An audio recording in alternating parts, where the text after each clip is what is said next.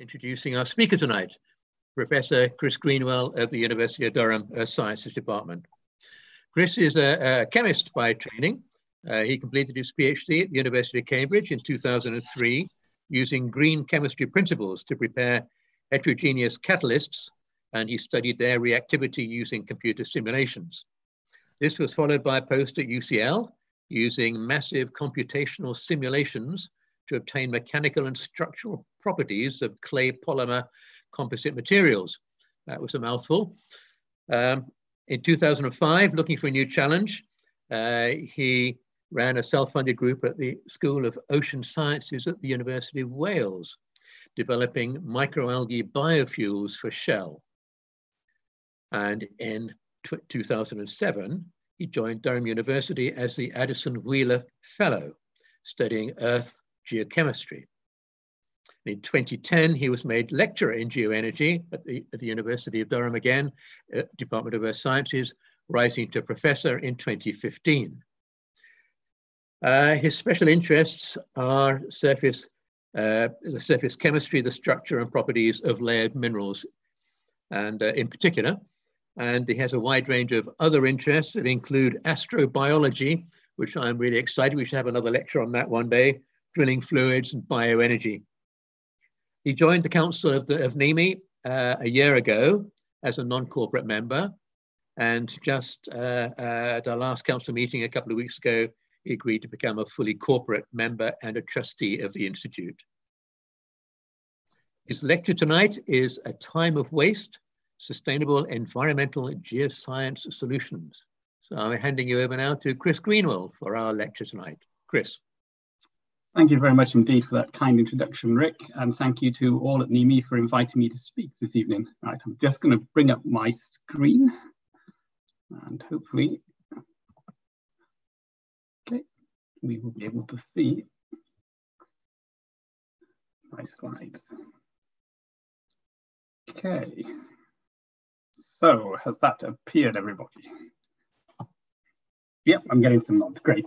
Okay, so um, my lecture this evening is uh, entitled A Time of Waste, Sustainable Environmental Geoscience Solutions. And in case you're wondering what on earth the picture is, uh, for those of you not familiar with it, this is a, a scene from the um, Pixar film uh, WALL-E, and the little droid with tracks in the foreground was left on a uh, plundered planet Earth amid piles and piles of human debris and waste, searching literally for green roots of uh, plants that have managed to grow again on our polluted planet. And that's what he's holding up to be scanned by this uh, other robot that's been sent back from the human population now on spaceships to check whether it's fit for human habitation again on Earth. Um, so uh, just, just as in this uh, film, what I'm going to talk about tonight is, is how we begin to understand um, to in, ensure we can both clean up the effects of some of our past industrial activities and how we make sure that we do it in a sustainable and economic way such that it will continue being cleaned up rather than left to somebody else's problem. Uh, the title is a little tongue-in-cheek. As Rick introduced me, you'll have gathered I don't have a conventional geoscience background and I'm quite convinced indeed that many of my colleagues think a lot of what I do is a waste of time. So by simply transposing the words, we have the title, A Time of Waste. And indeed, with the emergence of the circular economy in recent years, it's become a very topical subject. And the circular economy is where we don't look at things that are coming out of processes as waste or byproducts. We try and feed them back into a process such that we begin, begin to remove waste streams and turn them into valuable assets. Now, while that's a laudable ambition, what we shall see at the start of this talk is that there's an elephant in the room, and that elephant is exactly what do we mean when we talk about waste? What is waste? I mean, notionally, we can all understand what waste is. It's the kind of stuff we throw out every day, but unfortunately, it goes a bit further than that. Now, before I get to that, however, just to stall you and build up the uh, uh, ambition, uh, the, the tension a moment, I'll just get my thanks in at the beginning. So if I do overrun a little towards the end, um, then it means I won't neglect anybody. So I'm blessed in my research team to work with a, a great number of um, non-academic organizations and we do lots of joint work with industry. Uh, a large part of my team works with the oil and gas sector, but the ones that I'm going to introduce tonight are, are the, the, other side of what we do. So we work with a, a great team of people over at Northumbrian Water Limited, um, Brian, Andrew, Laura, Matt and Chris. Uh, we work with people at CA, the coal authority, so Chris Atterley and Nick Cox, who's the metal mine specialist, Hugh Potter at the Environment Agency, um, and Tom and Pete at Natural Resources Wales. They've all input in some way or another into the work that you will see tonight. And the people who actually did the work, of course, uh, those on the right-hand side, the various members of my team, uh, mainly masters and even undergraduate project students who've worked on these things over the years. And the kind people who funded me, again, are listed at the bottom there. So I mentioned that the elephant in the room is waste. Now, thankfully, or, or not, depending on your view on government uh, documents, the government has tried to help us understand what waste is by issuing this uh, excerpt. This is an excerpt from a legal definition of waste guidance. And, and it seems almost quite clear. So a material is considered to be waste when the producer or holder discards it, intends to discard it, or indeed is required to discard it. Now that fits with that intuitive idea of what waste is, which we uh, introduced earlier, something that you will throw away at the end of its life. So when assessing whether a material is waste or not, discarding doesn't simply mean throwing away or getting rid of something. Discarding also covers activities uh, and operations such as recycling recovery operations, which put waste material back to good use. And that's our kind of ambition. We're going to try and recycle this waste in some way. So situations when a material is considered to be a waste include when it is mixed with another waste material. So this might be something like a coagulant or ochre in with sewage sludge. Once it's mixed with the sewage sludge, which is a waste, the other material becomes a waste. Uh, some, something that's been uh, deliberately and illegally abandoned or dumped, so fly tipping, it's been a, a problem during lockdown, of course or accidentally unknown or involuntary discarded, such as leakage underneath a, a, fuel station storage tank. And there are companies in the Northeast which, of course, specialize in cleaning that up and restoring old sites, including uh, FWS consultants of our chair. Um, and something which is required to be discarded by law. So that, that sounds straightforward. However, the government, just to uh, try and uh, help us further, states a material is likely to be waste, so not definitely is, but is likely to be waste if it's left over, unwanted, or a burden on the producer. So this will cover, of course, things such as the extractive industries produce, um, the, the spoil and material which isn't is discarded when the ore is processed. Something can, can no longer be used for its original purpose, is out of date, or has become damaged or unsustainable for use. So this may be things like food waste, medicines, which are out of date, we also have things which we, we can define things which might be a waste. So this is not likely anymore, but might be if it's a production residue, has a low or negative economic value, um, or it's hazardous or could pollute if we're talking about things like radiation waste that we've seen in, in prior talks from the Institute. Okay, so is that straightforward enough about what a waste may be? Now, the problem comes with trying to do something like make a circular uh, economy type approach to using a waste, in that because what we've just gone through legally defines a waste, it's not very easy just to take a waste and turn it into something else, as it turns out. Um, for a start, if you had a uh, several tons of waste overburden delivered to your house, you've suddenly become a waste handler, and that's subject to all sorts of legislative constraints. So in order to be able to use a waste, as legally defined by a waste by the government, you actually have to achieve another piece of legislation called end of waste legislation. And it turns out this is a huge bottleneck in actually using waste materials such as spoil materials for other purposes. So the end of waste framework uh, tells you that uh, specified waste shall cease to be waste when it has undergone a recovery, including recycling operations, and complies with specific criteria to be developed in line with certain legal conditions. So in particular, the substance is commonly used for specific purposes, so it must have a definite and identifiable use for it to no longer be a waste. There must be an existing market or demand for it, and the use is lawful, and the substance or object fulfills the technical requirements for the specific purposes. So it must fulfill a set of technical criteria. If you're processing a waste, you must get it to the same standard each time you process it. And that's actually more difficult than you might expect, depending on the nature of that waste. So uh, we can go on. Um, the test for end of waste is whether the waste has been converted into a distinct and marketable product. This means the waste has been turned into a completely new product, and you might see this in playground surfaces or road surfaces from waste tires, for example. The new product is different from the original waste. Um, Non-pathogen plastic recycled material is processed into new plastic products as an example. There is a genuine market. So this stops the kind of shipping of waste, of course, over to places like Indonesia or Malaysia.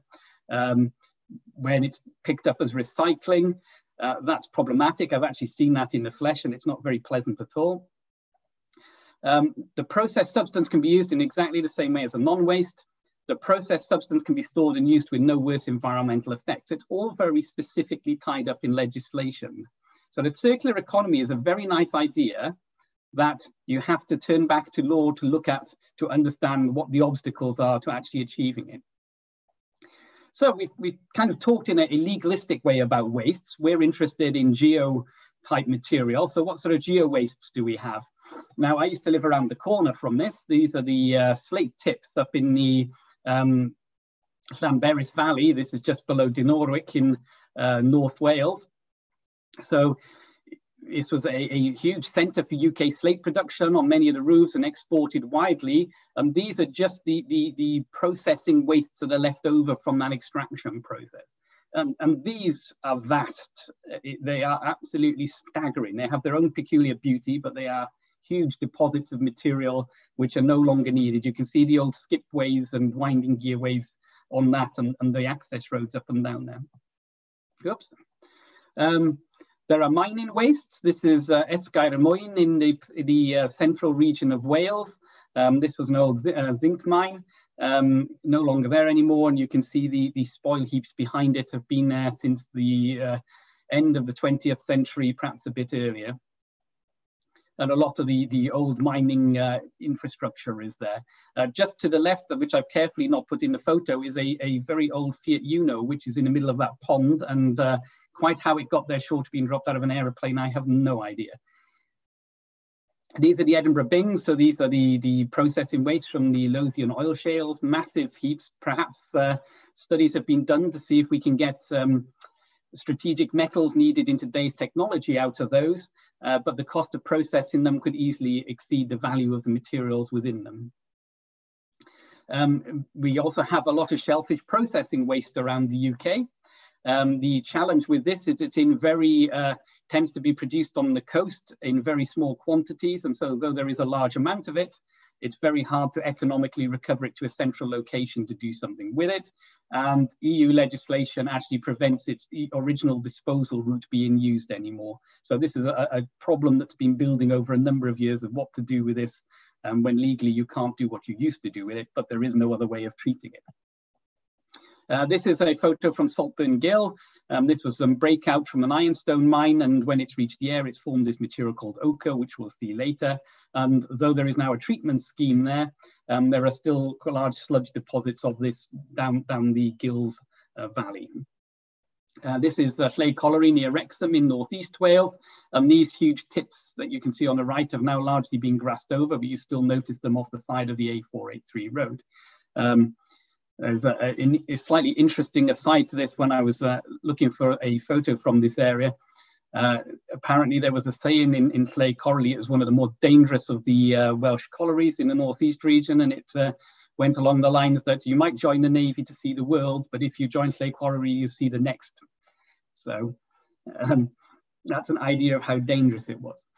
Uh, you have the um, another material we'll introduce in this talk, which is uh, seaweed. Now, this is beach cast seaweed, so it's broken free and it washes up on Douglas Beach, which is on the, the right there, and other places around the country.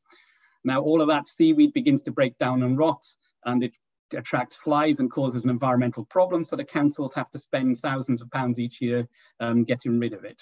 But it's a potential resource that remains to be tapped. And indeed, in the old days, uh, the farmers would have taken it away and put it on the soil as a soil improver, but that practice has fallen by the wayside over time. Oops. Um, Northumbrian Water seal sands work, um, treatment work. So again, sewage sludge is a, a, big waste product. A lot of that now goes back to the land, so that does have an end of uh, waste usage. Uh, below again, mining wastes you can see in, in the stream bed there. So um, in, in this the next stage of this talk, we're going to look at use of uh, a particular iron mineral for, which is on the right there. These are um, a type of uh, iron oxyhydroxide for recovery of nutrients from wastewater. Now, I first uh, was introduced this topic in France. I used to work for a while at the institute on the bottom left there in the town above, which is um, Nancy in northeast France. And the French have a big problem with uh, eutrophication, so oversupply of nutrients to their floodplains, which then flows down to the coast and uh, causes uh, seaweed bloom. So um, here's a, a, simple schematic of it. You have all of these, uh, yeah, can you see the pointer on the screen now? I hope so. Uh, so you have agriculture, you have water treatment works, you have uh, domestic supplies, industry, uh, fish farming, all of these things will result in nutrients being released into the environment. And in the natural environment, you tend to have oxygenated waters, um, but where you get eutrophication, what happens is you get blooms of algae which die, and as they decay, they remove the water from the, the oxygen from the water. The water becomes anoxic. Uh, you get reducing conditions, so you can get the formation of hydrogen sulfide, and you get um, anoxic sediments and unstirred lower waters and a lot of mortality of the creatures that would normally live there. And these are the kind of problems that they've had. So the, the impacted regions in France along the Brittany coast here, and you end up with these massive blooms of seaweed, uh, a type of seaweed called Ulva lactuca, which then gets washed up on the shores. And as it begins to die, um, oops, it, it decays and it releases or gets pockets of hydrogen sulfide gas and it can indeed, it's so toxic that dogs sniffing in it might die or even pigs that have come down onto the beach to eat it. Um, one of the first projects we did on this was uh, a local student who was working in my group and um, here's an aerial photo of Saltburn Gill as it was before the treatment scheme. And you've got uh, one stream which comes down here, which is not polluted. And Coming along here, you have Saltburn Gill itself, which has this iron, rusty colored iron oxyhydroxide ochre material in it. And they naturally mingle. And we thought, as the French researchers were looking to use iron oxyhydroxides to remediate the water in France as a phosphate scavenger, we thought we'd have a look if we could use this as a natural model in the UK to see whether it worked or not. Now, for various reasons, the data from that was uh, a mixed bag of results. So what we did, we thought we'd be more systematic and look at designing a research project to test this. Now, as it happens, the uh, northeast of England has a, a, a ochre overproduction problem. There are many acid mine drainage sites where they have to uh, remove ochre from the water because as the dissolved iron comes out of the mine, it reacts with the air to form the ochre, which is a mix of these iron-containing minerals, and it forms these orangey type sludges, which you see at the bottom, which are unsightly. And as we saw in the above uh, picture, they can, they can um, make a river look very polluted, and also they tend to coat all of the plants and other things within it to the extent that they are unable to function properly. So as the Northeast produces many tons of ochre, we thought we could see, can we take some of that and use it in water treatment processes? One of the biggest production facilities for ochre in the Northeast is at the Dawdon Mine Water Treatment Plant. Um, and here you can see the, if we look on the bottom left, um, mine water essentially comes in, there's some heat recovered from it in a heat exchanger, oops, and then it's uh, oxidized in these tanks to generate the ochre the iron oxyhydroxides from the dissolved iron 2. It starts to oxidize to iron 3 and forms a, a uh, mineral. And that begins to precipitate out and then it's removed on these filters, pH adjusted to get even more of it to precipitate out. And then it's taken away, partially dewatered and taken away to landfill at a cost of probably in the region of, of, of 100 or so pounds a ton. And some of that will, of course, be water. So it's an expensive thing to get rid of. And also it has to go in a certain grade of landfill, which is becoming diminished. So uh, we were interested in, can we take this and put it in water in some form at a water treatment works to remove the phosphorus from the water, which is a nutrient which causes problematic eutrophication. Um, so we did small scale experiments uh, working with Northumbrian water um, to make ochre in conjunction with different resins and cements to bind it together to see whether it would remove phosphorus efficient. Uh, and the answer to that, uh, sorry, was yes. When you did these things, you could get quite a high removal efficiency using these very small filters here. We've packed these with ochre, flooded water with phosphorus from the top and measured the removal. So the next question is, can you do this at a scale which makes sense to a water treatment work? So we have to think a bit bigger. So we've taken some of these kind of pond filter size units up on the upper left there. Um, we put a granular material, uh, gravel in the bottom, and then we coated some sand with ochre um, to give it some pore structure. It's very fine grained on its own. And then we put the ochre coated sand in the filter and we flowed water through it. And um, we looked at factors such as the different depth. And these, this graph at the bottom right shows you a percentage of samples. It's a histogram of phosphorus removal, uh, measuring the total phosphorus uh, and the filtered phosphorus um, with either five centimeter bed depths on the left or 15 centimeter bed depth on the right. And most of the material was sadly only removing about 10% or so of phosphorus at the shallower bed depth and slightly more at the deeper bed depth, unsurprisingly, because it had a, a bigger path length to pass through. So we thought, okay, so if we're making it deeper, we're getting some more phosphorus removal. So we then made it at a meter scale, uh, sorry, a cubic meter scale using an IBC, an industrial bulk container. Inside that filter system, we had a, some filter bed tiles, some sand, and then one part ochre to four parts sand and then another sand top on it. And we filtered the water from the waterworks, which had some phosphorus within it, through it to try and remove that phosphorus as phosphate. And what we found as we started it on the 11th of July 2016, and we monitored it regularly, and after about a week, we'd reach a minima of phosphorus removal. Um, we'd start off removing quite a lot, and it would drop down to about 10%, suggesting after a week you might need to reflush it. So here is where it's been um, given a stir and started up again, and then you get a little bit more phosphorus removal. So when we had a look at the runs of this, again, it's a histogram, so total and filtered phosphorus in the continuous color and the, the part shaded color, and the percentage of samples removing a certain amount. So most removal was within the, the sort of 20 to 50%, with a few more at 50%. Um, so yes, it, it's removing quite a lot of the phosphorus, but not a huge amount or not as much as we hoped.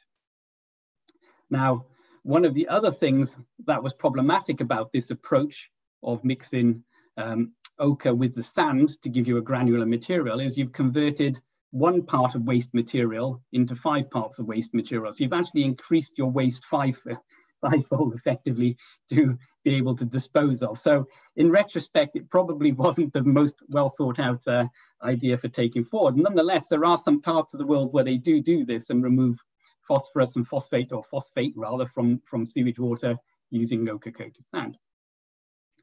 Um, we then looked at, okay, well, if we're not going to use it as a filter, can we just take the granular material because it tends to disperse very easily and add it into a water treatment works um, at the front end of the process and then remove it in the sedimentation. So we looked at how much ochre dose um, versus percentage removal of phosphorus, uh, phosphate, and we want to get up to 70% removal. And we find out where, as we add more and more ochre, so when we're up to about one and a half grams per liter of ochre, you're getting towards the phosphate removal you want.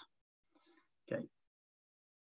Um, and then we looked at ochres to see what difference it made um, from different mine water dewatering systems across the northeast. So Acomb, Bates, Blenkinsopp, Dawdon. Uh, Saltburn is the odd one out, of course, as it's a metal mine rather than a coal mine.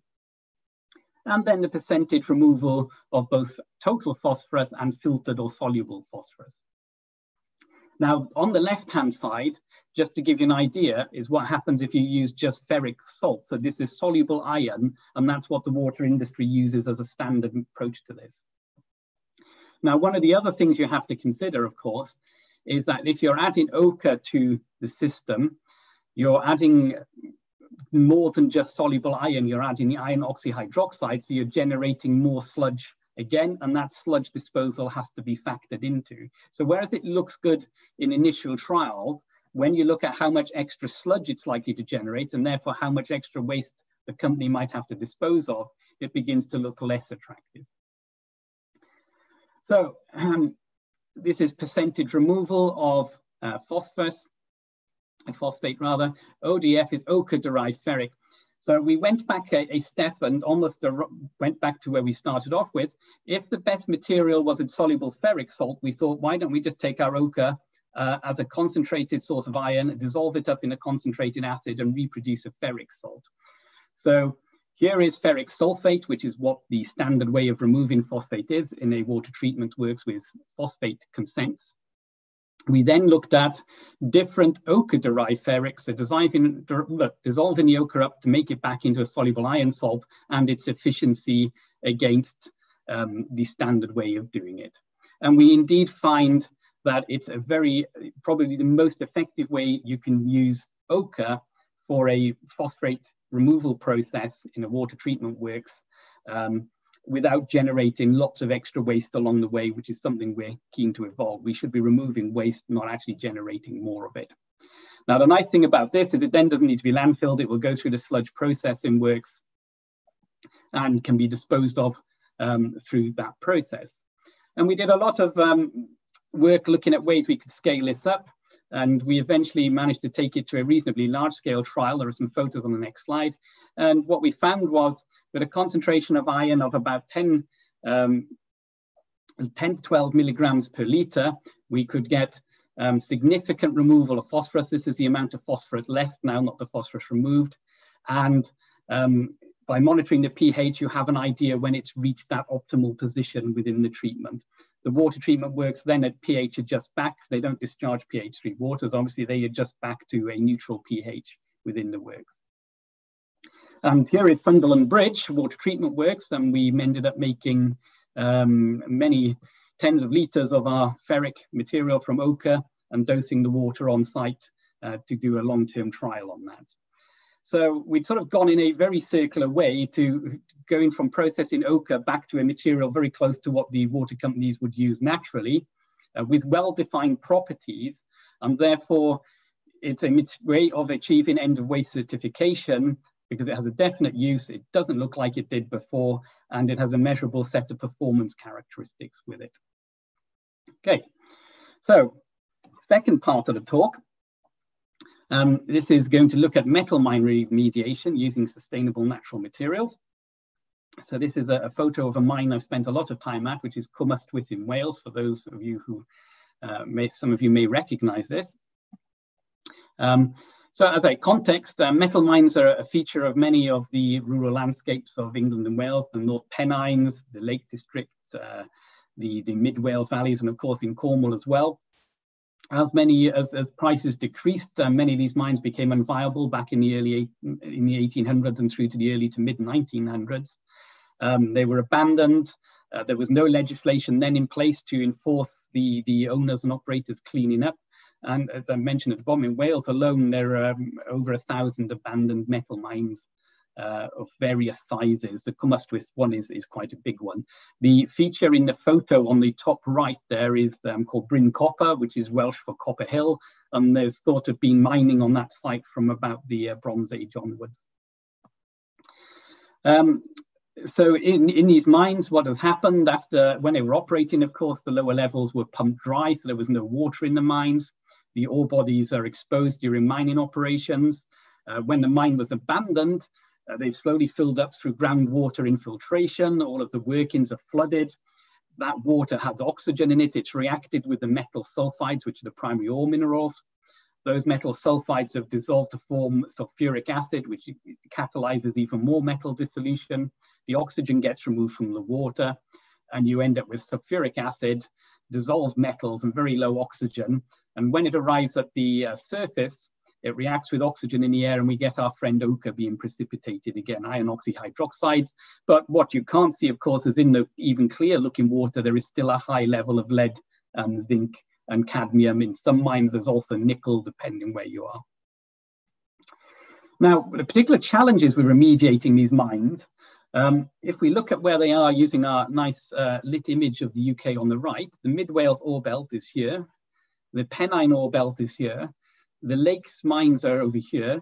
what's conspicuous about them is they happen to be about bang in the middle of patches of blackness. And that's because whereas there were thriving communities there in the day when they were operating, now they are some of the, the remoter parts of the UK with very small populations. Uh, and intriguingly, uh, as you drive through parts of Wales, you'll notice disproportionately huge chapels where the Methodist workers would have worshipped in their heyday, uh, serving villages of about 10 houses or so. Uh, so this is the Ystwyth Valley to give you an idea of the, the, the emptiness of it. Um, the little hamlet of hum Cwm is behind us, and this is looking towards Rhayader. And you could probably count the number of properties as you drive for 20 minutes along that valley on one uh, hand. Um, this is in near Eggleston, top end of Eggleston Burn, again, a very remote area up in the Pennines. So these are far away from anybody. There's very little in terms of power, security, or uh, population to operate any kind of treatment scheme in these areas. So what we're going to look at is an example of uh, phycoremediation. So phyto would mean plant, phyco means algae. Uh, algae are, are uh, people are familiar with. It's the green stuff that grows in water that's left on your windowsill. Um, and you, it's, it's sort of uh, one of the most uh, uh, simple but efficient organisms for converting CO2 into biomass. Now, simplistically, there are two kinds of algae. There are macroalgae, as in big algae, which are seaweeds and kelps and, and uh, so on. So uh, they are characterized here. They have a holdfast. They tend to grow on rocks, though some may be free, free growing, such as uh, sargassum. Um, you have a stipe, uh, sometimes a gas bladder to try and keep it buoyant in the water in the photic zone, and then the, the blade, which uh, the upper part makes up the fronds. Microalgae are single cellular uh, microorganisms. Um, there's some compositional differences. These tend to have a lot of oil in them, which is why people have been interested in them for biodiesel and biofuel over the years, including the work we did with Shell. Um, and then the macroalgae, people have been interested in, they're quite sugary, so you can um, get them to ferment and digest, uh, although there are, there are some drawbacks to trying to use them for that sort of fuel product, but that's another story for another day perhaps. Uh, in terms of the seaweeds, um, or the macroalgae, which we'll focus on for the rest of this talk, um, they're the greens, the reds, and the gold. Simply put, um, you can, if you if you uh, regular trips to the northeast coast, you'll see all of these things.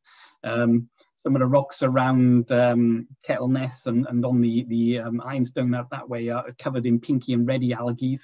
Um, the green you'll find growing around Staithes. Those with the gold, you, the browns you'll find growing around Staithes, uh, fucus, and so on in the harbour.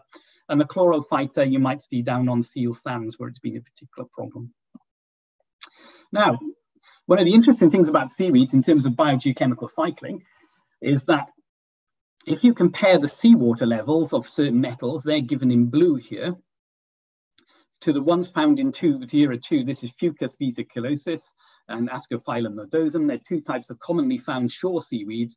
What you find is when these organisms are living, they actually concentrate metals hugely relative to the seawater that they're found in. They will take up these metals and store them within their um, biomass. So zinc, manganese, copper, nickel, this all looks good. We did some work and, uh, a few years ago on looking at rhenium in these, these biological organisms. And rhenium is actually stored at about 10 to the five times its background level in, in macroalgae, huge amounts. And people, because of this affinity for metals and ability to store metals, people have begun to use them in places uh, like British Columbia. I read last year there was an article where they were actually looking at the seaweeds to try and understand which rivers might have ore bodies discharging into them. So you can use them as a kind of a, a quick pass at mining. Now, a little bit of chemistry, but I'll try and uh, not go into too deep, is the reasons that um, these organisms store metals is quite unique. So they're made out of a sugary starchy type material, but unlike um, terrestrial plants, they don't have any lignin or cellulose in them. They have something called alginic acid, and that has acid groups on it and that is part of the reason that they are able to store metals. It's also part of the reason that they're very hard to break down in fermentation and um, by microbes who are used to terrestrial systems. They are sort of chemistry that's not found very much on land except in fruit peels. And this biopolymer can form particular structures like these little cup shapes, and those cup shapes are very, very good at binding metals within them. And they form something called an egg box model. So the intuitive way to think of these is when you take your two halves of an egg poke apart, you have those nice pockets that your eggs sit within. Well, this is where your metal ions will sit within the structure of this biopolymer. And it hangs onto them very well indeed, which is why you get those elevated uh, functions. There are other biopolymers such as fucoidan, which has got sulfonate groups in it. Again, very rarely found in land-based organisms, but quite common within marine because sulfate is one of the abundant anions in seawater. Um, so the people have looked at where this uh, bio, the, the seaweed store the different metals by looking at removing um, some of the cell wall material to see if it makes a difference. And certain metals seem to be mainly stored in the cell wall. If we look at nickel, when you remove the cell walls from the biomass, it doesn't store very much um, nickel as compared to the normal cells.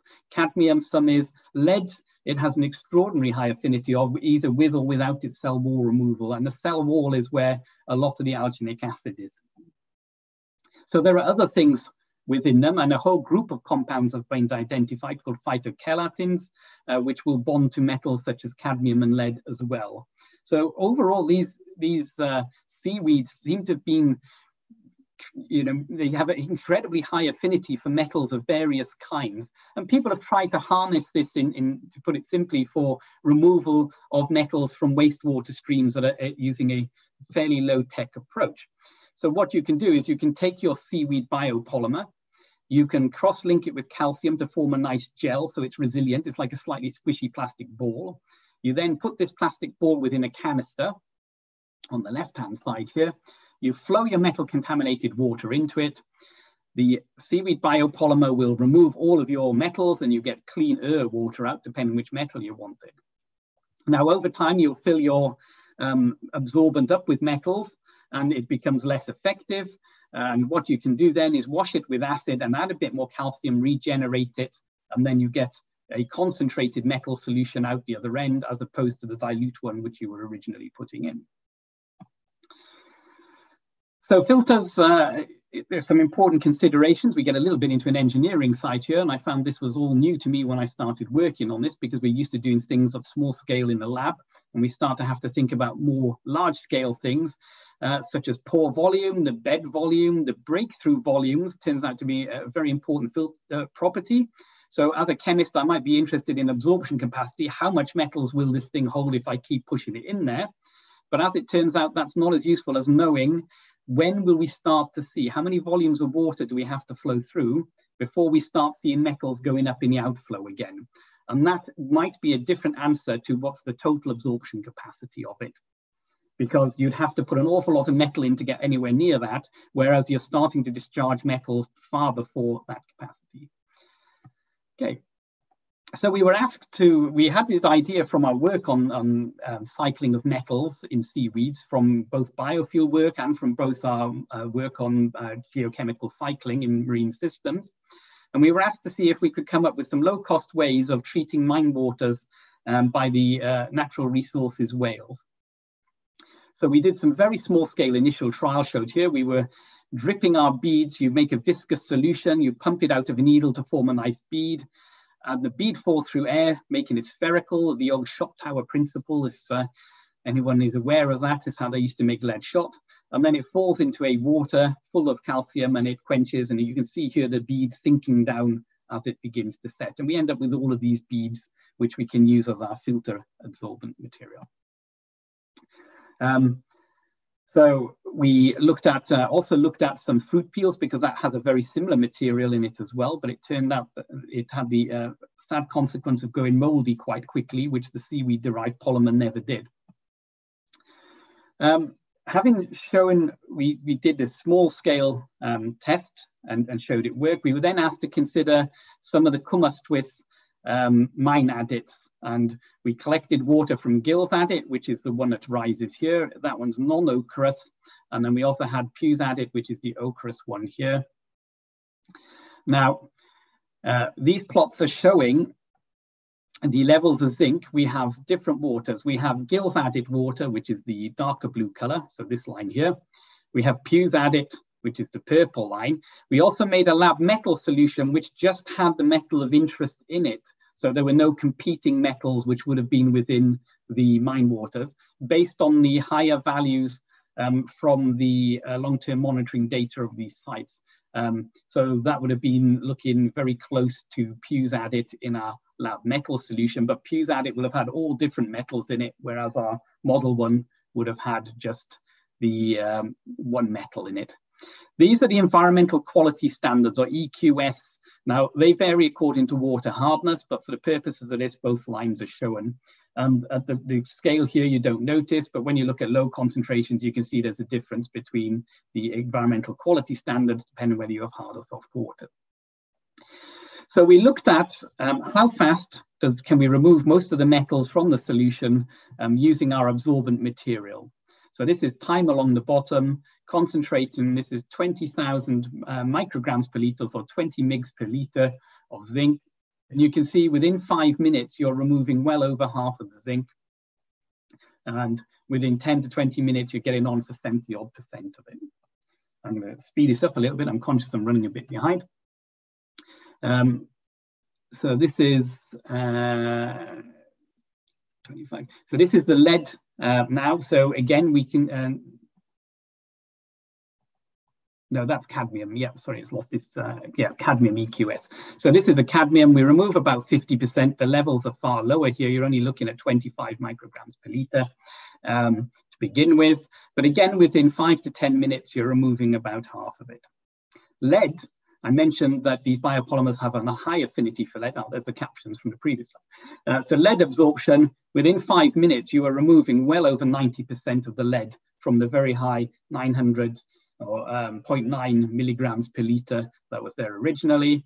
Um, and again, similarly, whatever the initial starting concentration, within five minutes, which is an extraordinarily low retention time for a filter system, then you are removing a significant portion of that metal. And indeed, in summary, these are repeated the plots on the right, uh, but if we look on the left-hand side here, the black figures are the five-minute removal times, uh, percentages rather, and the red are the 15-minute uh, residence time removal. So we, at 15 minutes, we're removing nearly 80% of the zinc, 70% of the cadmium, and 100% of the lead from the water, more or less within things. Uh, we'll skip that. That was looking at velocities. We also had an initial look at how we desorb the metals, because of course we're going to have to recover the metals from these things at some point. Um, so zinc, um, you can desorb uh, a, significant amount of it. So this is the amount absorbed to the bead. So you can see um, over time, we're beginning to desorb more and more of the zinc from the, the bead. Cadmium as well, it was relatively easy to get off. Um, for lead, though, it was much, much more tightly bound, and we've been doing further work to try and get the lead back out of those bead systems. Uh, we looked at various different commercially available alginate gels um, in, in an effort to try and speed up uh, larger scale trials. And we settled on um, Protanal GP540. It's just one of the commercially available alginates that you can buy at large quantities um, for doing larger trials. Uh, don't want to go through this in, in too many details, but I mentioned that breakthrough volume was important. Um, we originally thought that our filter beds would be defined by the amount of retention time that was needed, the size of the filter, because the longer you need to hold the water, the bigger your filter will need to be. But what we actually found out was that if you used a five minute retention time, which you could do, and you, you can then get away with the smallest filters you can. What you have to do is you get your breakout volume within about two days. So you would have to be going back and regenerating your absorbent every two days, which given the remote nature of these um, is actually pretty impractical. So a key message we learned in this work was that the filter size is not necessarily determined by the retention, but by the amount of times you want to go back and service it in some way. And we also, as I mentioned earlier, showed that the percent of saturation of the beads at your breakthrough volume is far below the theoretical limit. So the actual full absorption capacity of the beads is a far less uh, useful quantity than the point at which it begins to break out. Um, and even if you did this well, you'd be recovering about two tons of uh, zinc per year, half a ton of lead, and about a few kilos of cadmium from that particular adit. So the economics of it you have to start then thinking about because that value of metal is not going to tot up hugely. Um, we actually then did a, a larger scale demonstrator study, which I'll come to. We don't need to linger on that slide. We had a, a, quick check back at the prioritization of catchments on which ones were most impacted by metal mines to see that Cwm Ystwyth was an appropriate one to carry on with. And indeed, we found that Ystwyth, it's in this red line here, is impacted and it has a significant impact score. So on the Environment Agency priorities, uh, prioritization for treatment, these uh, waters are one that specifically need treating pretty urgently. And indeed, there have been further work done on these sites in the time that we've been doing our initial research projects. Uh, give you a, a, am I okay for time for five minutes, Jeff? Yeah, okay. So here's an overhead view, um, courtesy of Google Maps of the Ystwyth catchment. This is the small road that comes down from uh, Cwm Ystwyth village. Uh, it eventually goes all the way through a particularly stunning part of the world to get to Rhayader. Um, and here is the old mine workings. You can see the extent of the spoil heaps. Here's the old crushing floor. And here you can see our ochreous discharge. And this is the Afon Ystwyth, the river uh, Ystwyth, which flows all the way down to Aberystwyth up the coast. Now, when we looked at what size theoretically would a treatment system need to be, um, we worked out our size would be a 40,000 litre treatment system if we wanted to make a treat the whole adit discharge at this site. And we thought, well, what's the footprint and that's going to look like? And as you can see, it's actually pretty small in the grand scheme of things compared to some alternative treatment systems that are out there, um, such as reed beds and other ways, but wouldn't work particularly well in this area because of the particular topography. Um, so this is the view again along the road. A nice thing about this site is, is even though it's in a remote location, you can actually get a vehicle quite close to it for setting up some research trials. Um, some of the things which aren't so ideal about this is it's a scheduled ancient monument. That's something that most people don't tend to think about when they're doing field work. So if you want to do any groundworks on site, uh, it actually has some historic value, so you have to get an archaeological survey done depending when you're operating. And you can see in the inset that our adit that we want to use is actually within the scheduled ancient monument site. Now, the other thing is, is that it's also a site of uh, particular scientific, uh, specific scientific interest, uh, at SSSI, and um, the reason it is, is because there are lichens which will grow on the spoil heaps because of the unusual metal combinations there that are very rare and aren't found anywhere else. But as a result of those lichens being there, you can't disturb the spoil heaps. So you have to be fairly careful about where you put your equipment and access the site to get off. So we scaled up our tiny little lab experiment to this sort of scale. Um, now, I, one of the, the appeals is this site is it's, it's uh, Anywhere else in the UK, the weather will seem good relative to it. In that, even in the middle of summer, a really cold wind whistles up from the southwesterlies uh, coming up the Aberystwyth valleys, uh, and frequently as well, um, it, it, has the lovely Welsh feature of having five different kinds of rain in one day. Uh, I think in all my days I've been on that site, the only time, only one afternoon was it a beautiful still evening and uh, as soon as we got out of the car, marveling at this uh, rare phenomena, we were almost completely devoured by thousands of midgets that had also seized the opportunity to be there. Um, so we actually ended up scaling up to a, a, a, bigger system again, which I'll come to in a minute. And we were operating this over 10 to 12 day periods. And as you can see, what happens is you get a very, um, even over the 12 day period, you're not seeing a breakthrough of lead. This is measuring the concentration of lead in the outlet waters. So the within hours, the level of lead has, this, has fallen considerably and it stays low all the way through the trial. Cadmium, it tails it off, but after 50 hours, you start to get a gradual increase again. So you're getting some breakthrough of cadmium. Zinc is an unusual one. It, it has a very rapid initial removal, begins to build up again and then levels off. And we've been doing some research to try and understand how this happens. And, and that's quite, um, it's been noted once before in the literature. So it's quite an unusual phenomenon. It's not that it's going all the way back up to its initial value. It reaches a new stable removal rate of about 50%. The filter bed was scaled up eventually to this is the biggest we've run to date. These are 250 litre filters. You can see all of those beads within there. Um, they're kept in place by some mesh. Uh, the whole thing's put on a pallet, and then we have a takeoff pipe from a, a V-notch weir to take the water into the filter unit.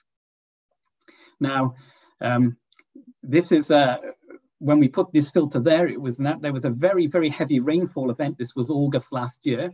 And within about four hours, the water was at the top of that filter to give you an idea of the catchment hydrology in that region. So it was pretty spectacular. And we were slightly worried the whole thing was going to disappear to Aberystwyth on the uh, rising waters. Um, we've just had uh, funding to take this up to a, uh, annual trial on a unit four times this scale. So we're just doing some work now to put a bigger unit in it. And these, this sort of commercialization process is, is quite a long one. Um, we're having to demonstrate different principles at different scales. And each time you scale it up, it's a different challenge, such as how do you start to make these beads rapidly at large scale? How do you ship them into site and ship them out of site, etc. So overall, the idea is that we're going to take our beads, we're going to treat some water within them. We'll get clean water out, which doesn't actually have a value to anybody at the moment because we don't have a water market in the UK. We're going to treat them with metal to get the metals back out. We're going to do something clever with the metals to get some money out of it. We'll regenerate our bead and we'll go around that loop as many times as we can until we can't recycle them anymore. Then we'll ash them, recover any last metals out of them and make some new beads. And because they're made from a biomaterial, it means they're a sustainable uh, low carbon footprint absorbent for metal removal. So slight problems to this. Uh, they'd like it to be economic and self-supporting. Market price per ton of metals, this was a little while ago. Um, you're not going to make a huge amount of money if it's a thousand pounds a ton for zinc and you only recover two tons per adit. You're not going to make a fortune out of doing this. So we had to think about, well, that's a zinc metal, but uh, what else is in there that has value in it? There's the ecosystem. There's no actual price for that, but there is a, a notion that you can charge for cleaning up to meet the European Water Framework Directive legislation, environmental quality standards. And what might be nice is if you could turn your remediation problem into a manufacturing challenge and look at different materials. So zinc metal, it's worth about 1,300 pounds per ton of zinc present in it. Zinc carbonate is worth slightly more because you're paying more per mass unit. Uh, zinc, aluminium, LDH. So these are nanoparticles my group does a lot of work on. They're used for catalysis amongst other things. These are worth far more, getting up towards 10,000 pounds a ton. Uh, if you look at the zinc vulcanizing agent used in tires, that's worth a sort of similar order of magnitude. And then fine chemicals used in um, things like shampoos containing zinc are worth a massive amount per ton, but you'd never ever sell a ton of it. Of course, you sell them in small amounts. So in a sense, to make these things pay for themselves, you need to think about actually turning them into things of higher value. And also a convincing reason you would use recycled mine water instead of just buying in a quarried zinc product. Okay, thank you very much. That's my talk. Splendid. Crikey. Chris, uh, fantastic. What a, what a really interesting, what a really interesting talk. Thank you very much indeed. Uh, I'm sure there are plenty of questions uh, from our audience, and I'm going to hand over now to Matt Fennell, who's going to run the question and answer session. Thank you very much, Rick. Um, if you are joining us on Zoom this evening uh, and would like to ask a question, could you use the raise hand function or use a reaction, or you can send me a message in the chat bar. If you're joining us on YouTube, if you could type your comment into the uh, live chat bar and I'll relay those directly to Chris. So does anybody have any questions for Chris at this point? Not anything yet. Oh. Bill, I've just asked you to unmute. Okay. Hi, Chris, that was fascinating. Um, just an aside, really, not, not technical, but um, will the EU waste regulations continue if we eventually um, extract ourselves from, from the EU, the evil empire? Uh, given the government's uh, cavalier attitude to the, the, planning laws at the minute, I'm just wondering if that's a harbinger of, uh, of more laissez-faire and, things. I, I don't. I, have asked this obviously because it, it, it, materially impacts our funding and our rationale for doing certain bits of research for our industry sponsors. I've run this past them, and their view is they don't see the UK having a race to the bottom in terms of environmental legislation. So they expect harmonisation of environmental legislation, uh, for as long as possible. Um, so I don't see anything changing rapidly soon. The interesting thing, of course, is that what will happen is you will see the UK. So you might find UK government departments being fined by the central government. So the money is is it's kind of not going to an outside organisation as a punitive fine. It's staying within the UK government. So how much of a deterrent that then becomes, I, I wouldn't uh, like to hesitate to to guess at. Um, but I certainly don't see us uh, changing away from European environmental legislation. I mean, a, a lot of this stuff, the, the, specific case of shellfish waste is an interesting one because when the legislation was passed, many European states could not meet the new legislation. So many of them put it in abeyance for many years. So it's not just the UK that, that kind of is impacted by some of these decisions. Thank you. Um, I'll just, uh, we've got a question from John Beatty next. John, just ask you to unmute.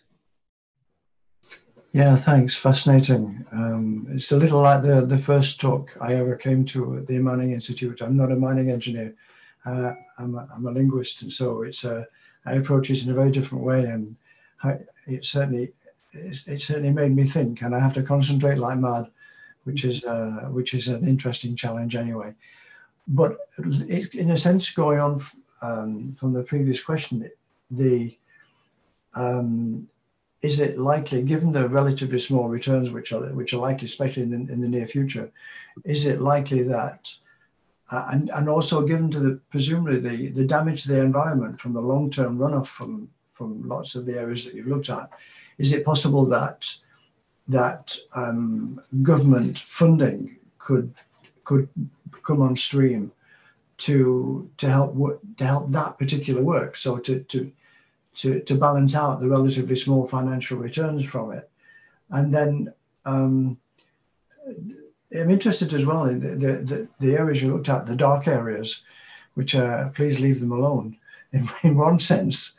Um, but and the, you you talked about the lack of power in those areas, uh, and but they're also they're, they're very wet as you, as you quite rightly quite remarked, and had a, I've had experience of that. And they're also windy. Mm-hmm. Um, so if if if power is a, an issue, um, are, are, you are you working with with people in other disciplines to to respond to some of those problems, and perhaps other ones that I haven't thought of? Yeah, okay. So I, I guess there's, there's there's a number of questions in there which I'll try and unpick apart. The, the first one is government funding needed.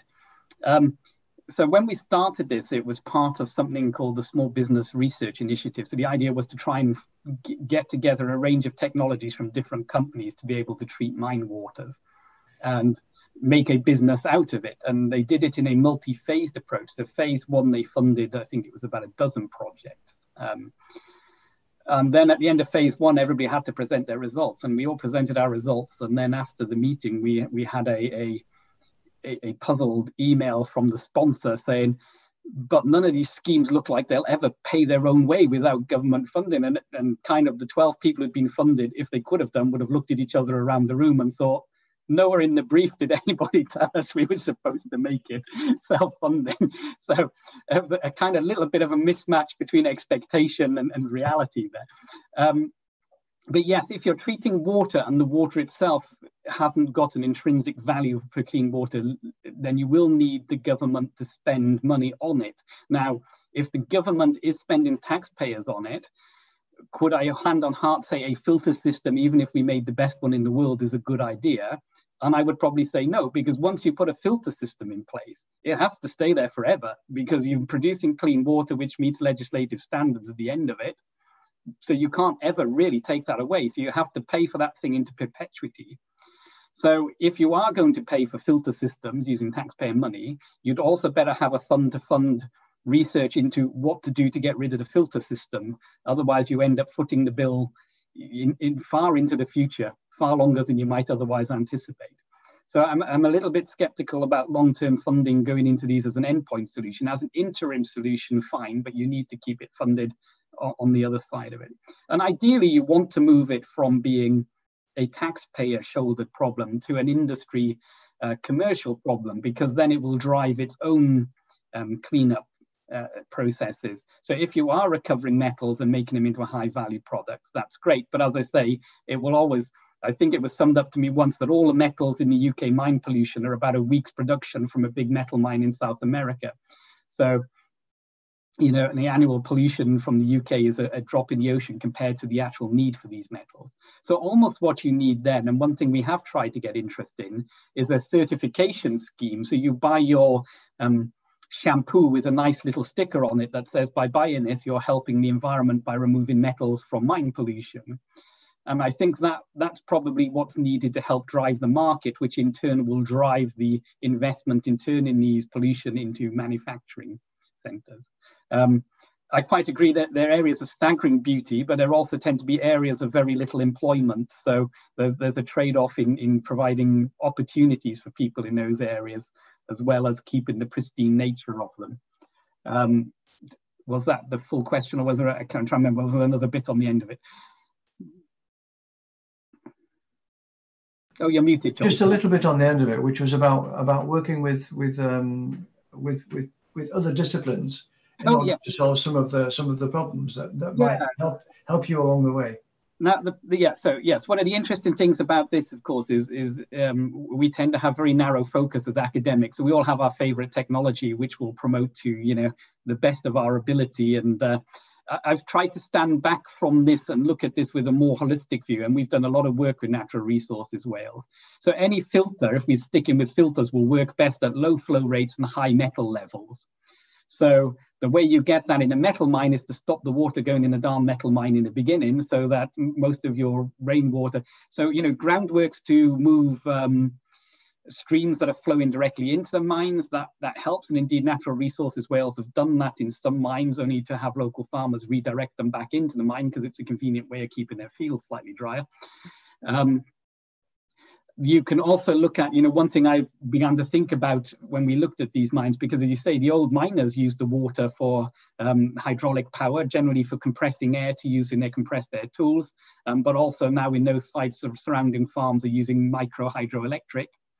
So you could use micro hydroelectric to provide you with some power, wind certainly, and if you had low energy pumps, you could also pump um, during the drier season, as much as it is in some of these areas, uh, to try and reduce the water in the mine so that you're not always having such a high outflow of very highly metalliferous water. If you've um, got sinkholes in the higher levels, you can pump water out before it reaches the seams actually one of the things we'd love to do is actually generate proper digital models of these mines to understand so you can have two adits next to each other which behave very differently so they're clearly receiving water inputs from different areas um, they're clearly transporting metals in different ways and if you could understand the hydraulic conductivity and the structure of these mines underground you could almost treat them then like a water treatment works where you can understand where all of the flows are interconnecting and what you need to do to to minimize those waters contacting the metal veins in the beginning. Great, thank you very much. Uh, we've got one question from Norman and then we'll have a question from one of our YouTube attendees. So Norman, I've just asked you to unmute. Norman Jackson from Seaton Sluice. Um, one thing that's always interested me as a mining engineer, we, we had a very, very, very good uh, barium sulfate plant at the uh, Backworth mines. Um, it, it, did, in fact, make a good contribution to the running of the colliery in terms of cost. Mm-hmm. Um, have, have, you have you that water no longer comes to the surface? It's it's, it's currently um, building up and combining with waters from beneath the Tyne. Have you done any work with that water at all? No, we haven't. But but um, most most of my day job uh, that that is, is a far more lucrative side research wise, if you like, is working with the drilling industry, the offshore oil and gas drilling industry. We work a lot on wellbore stability. So, of course, barite is, is a staple of their um, weighting agents within it. So there's a ready market for, for good quality barite for sure. And that, that is quite economical. I hadn't realized that resource was there, to be honest with you, Norman. So perhaps we should catch up after this talk and have a chat. Well, there was there was quite a big barium plant there that extracted quite a bit of barium. How easy it would be to get it out again now, um, I, I, don't know. But the second one was was I was very interested in your graph where you showed the the water qualities and and the Bates water it, it, again is a very interesting water. because there was a there was a direct connection to the Zechstein Sea, which, mm. uh, as you know, is is is is tremendously saline water, and uh, the the the mine water at Bates was 27 times worse than seawater. Um, it used to rot the conveyor rollers, and and we had to change the conveyor rollers in a three month pattern on certain places, and it even used to rot the toe caps off your boots. Um, so that's another very interesting water, which uh, I noticed on your graph. It showed some quite high levels in what you are looking for. Yeah, waters which have got a high level of calcium in, in particular tend to be very good at phosphate removal. You form calcium phosphate, which is in, incredibly stable. So they're very, very good at removing uh, uh, phosphorus on, on that basis. Um, I think Dawdon also, because they add calcium uh, hydroxide to, to adjust the pH on it, then you also get quite high removal there. So if you have a high level of divalent cations like calcium or magnesium, then you tend to get very good phosphorus removal. Have you ever considered mixing the various mine waters to, um, to precipitate them out? I mean, I mean, the, the interesting thing is, is um, I, I, suppose the the ochre project we mainly focused on the mines which were actively producing large amounts of ochre. So the, the largest central point in the the northeast is Dawdon, I think, at the moment. I think the coal authority since then has built a new ochre handling facility further north as well. Um, so, you know, traditionally ochre was used in colouring bricks. Um, but the market for that has fallen down. It's used a bit now in cement colorations. People like to have red cement and things. So um, there are uses for it, but what we're looking for is a sustainable long-term use for it. Um, and on one hand, you have a company that's buying a lot of iron salt, uh, which of course itself is going through a bit of a turbulent time because most of the iron salts you buy are a byproduct of the steel industry, and the steel industry is facing a, a lot of pressure over the last few years. So there's been a lot of volatility in the price of ferric sulfate in particular. Um, that's been compounded by countries in the Middle East have now got um, much more advanced water treatment works than they did 10, 20 years ago, which are also buying iron salts in uh, and slowly into South Asia as well. Um, as, as people begin to upgrade their infrastructure, uh, then they're also competing for the same resources that we would use in our water treatment works. So on one hand, you had um, water companies, Northumbrian Water, buying in iron salts. Um, and then on the other hand, you had the, the coal authority paying to put um, iron into the ground in the form of a salt or almost in the form of a salt as well. So synergistically for the Northeast, it, it works quite well. How, how well the economics would work if you had to ship it long distances, of course, is another question. Um, and the interesting thing is when you, you, start looking at the economics, it requires both partnerships to be in a true partnership for it to pay off for either of them. It's the, the process as an aggregate is cost beneficent rather than for each part, just one of the partners. Thank you. Thank you very much, Norman. We have uh, one final question uh, from YouTube, and this is coming from Katrina Selleck. Uh, I speak from a few months ago.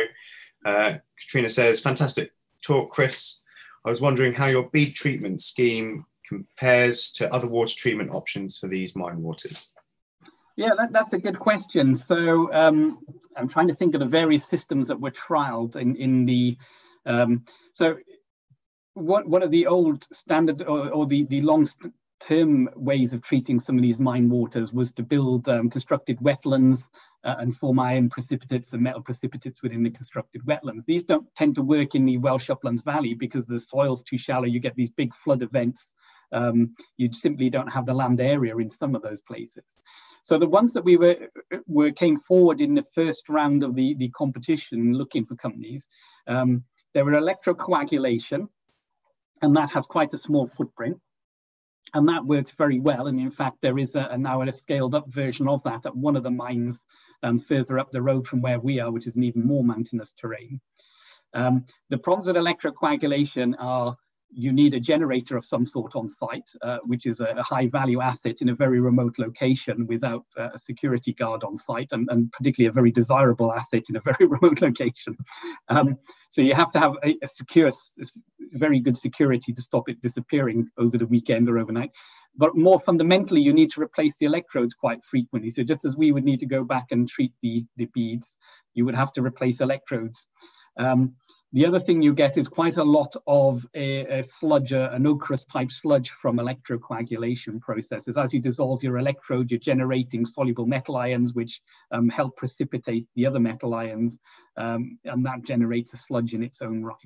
So that's the electro one of them, though it is a potentially, because of its small footprint and ease of operation, it is definitely a contender technology. Um, people have looked at using algae, uh, which again, you know, as in microalgae, live microalgae.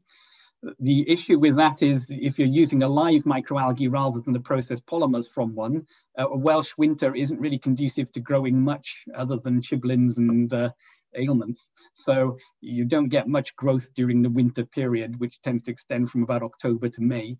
Um, and again, the infrastructure to run those systems with the dosing and nutrient control is, is quite a, a uh, expensive and fragile infrastructure in, in these mountainous locations. They can be very good if they're put on the side of a treatment plant of some site, a water treatment plant, but not in a, a remote geography. Um, you also get uh, people have looked at using other absorbents such as uh, calcium uh, limestone, crushed limestone lined channels or even seashells because the limestone, uh, the, the, calcium uh, carbonate reacts particularly well with things like cadmium as well as increasing the pH to precipitate metals out. You then have the vertical flow ponds, such as Adam Jarvis and the Coal Authority uh, have used to good effect at Force Crag in the lakes, um, where you put a load of compost in wood and, and material that generates anoxic conditions.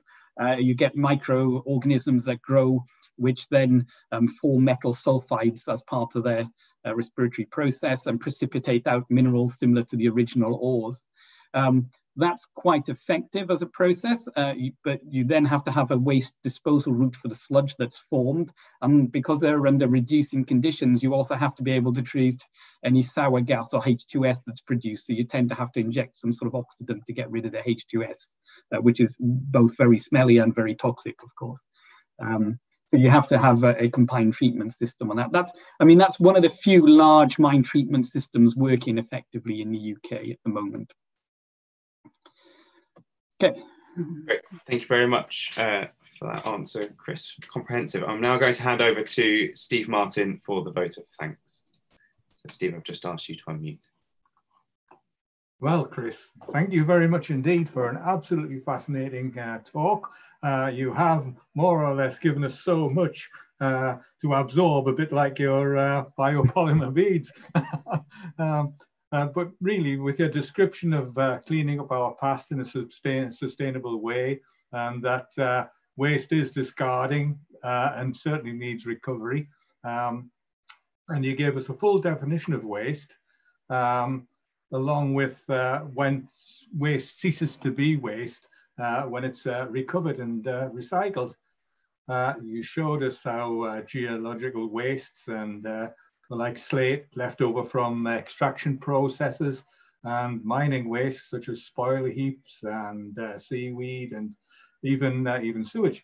Um, you then went on to explain the use of iron oxyhydroxide. Heavens above, I'm not a chemist, I'm I got it right.